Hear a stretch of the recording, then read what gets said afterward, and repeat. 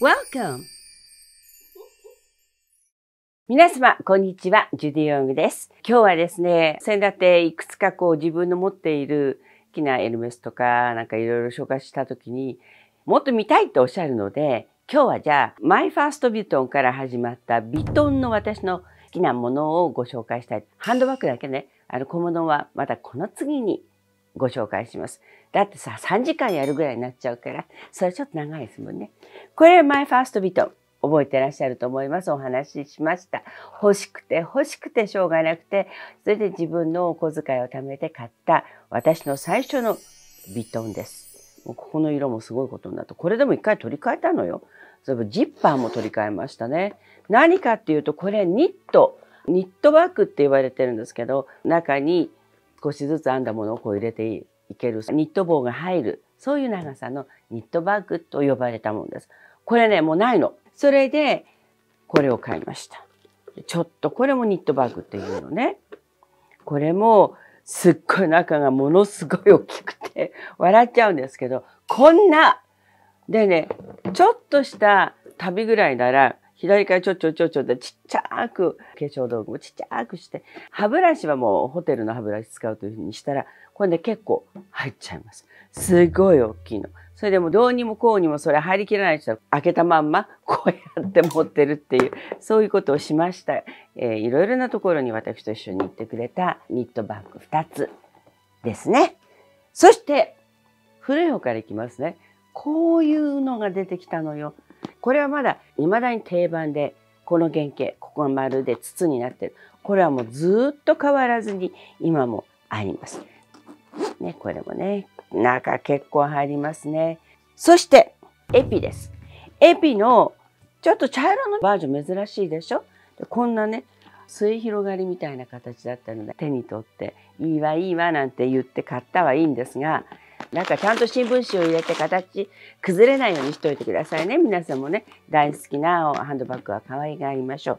これを見て気に入ってしまったら、その隣にあった子がいて、それで黒も欲しいなと思って、2つ買っちゃいました。両方ともちゃんと使ってるから許してね。これもかっこいいのよ。ちょっと、ね、あなた誰？あなたニコちゃん？ニコちゃんレギュラーだわね。ニコちゃんじゃ上に上がっていいわよ。はい、どうぞお座りになってください。はい、いい子ですね。ありがとう。舐めてくれるね。ありがとうございます。今お話ししてたの、ビトの話。ね。これが黒も欲しくなっちゃった。でもなんとなくちょっと色が暗いので、じゃあ、あのエピでもパッと明るい色を持ちましょう。で、赤を持ったのよ。これね、ストライプの服でもいいし、今日のようなこの黒でもいいです。ちょっとイヤリングの色を赤に変えて、で、赤い靴履いてこれ持ってくる。まあ、おしゃれなのよ。これね、ビビッドな赤で、それで気に入りました。さあ、次に行きましょう。はーい。これはね、マルチのブラックベースのですね。実を言うとこれ私のじゃないの。お母さんのなの。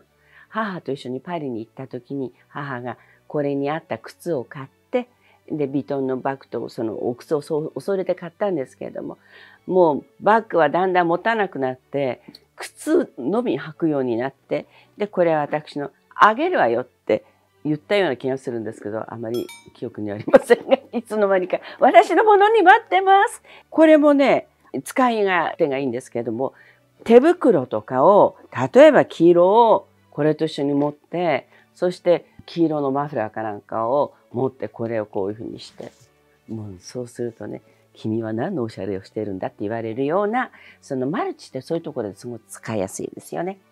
で最近じゃーんデビューしました。まだデビューの子です。ぷくぷくの豚豚の皮。すっごく軽いんですけどもこれ最新の私の子です。であこれはねついてきてないのよ。多分これは私のお友達がねくださってそれでもうついたまんまになってしまってますけどこれライオンです。でこれを持ってたら若い女の子「えもう買ったんですか？どこで買ったんですか?」って聞かれたんですけどもそうね。内緒ねとか言って 楽しんでます。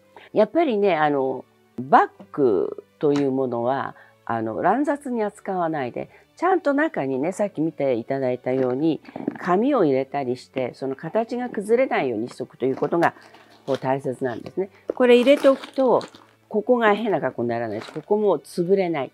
ちょっとの手間ですけども、これは袋にいつも入れてありますね。皆さん買ってくるとフェルトのような柔らかい袋に入ってきますけども、使う時にはその中にこの新聞紙出しちゃって入れちゃうの。その袋に入れちゃって、で、これを使います。使って、あ、じゃあもう次の季節赤のにしようかなって思ったらば、ここをまた、そのどうせもう形になってますから、それをこう突っ込む。で、突っ込むと、またその形が崩れずに、季節のデビューの時にいい形でいてくれるっていう。それが私たちの一つ一つ憧れて買ったものを大切に扱うという、ちょっとしたことなんですけど、そんなようなことを心がけると、まあ結構長いことみんなそばにいい格好でいてくれています。というわけで今日は私のビトンをご紹介しました。終わりだそうです。というわけで、それではまたお会いしましょう。えー、登録お願いしますね。それとまたコメントください。お待ちしています。それでは、チャオ